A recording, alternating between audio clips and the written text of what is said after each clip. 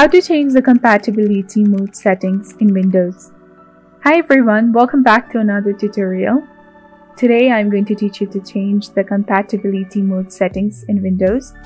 So first of all, make sure that you're logged in as an admin. Then right click on your exe file and then click on properties.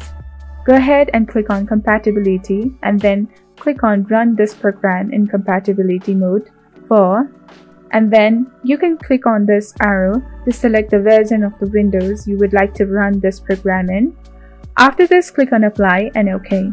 Right click on your exe file and then go to Troubleshoot Compatibility and then click on the Troubleshoot option that you want to use. Follow the on-screen instructions. This is how you can change the compatibility mode settings in Windows. If you found this video helpful, do not forget to like, comment, share, and subscribe to this channel for more amazing contents. Thank you, see you in the next video.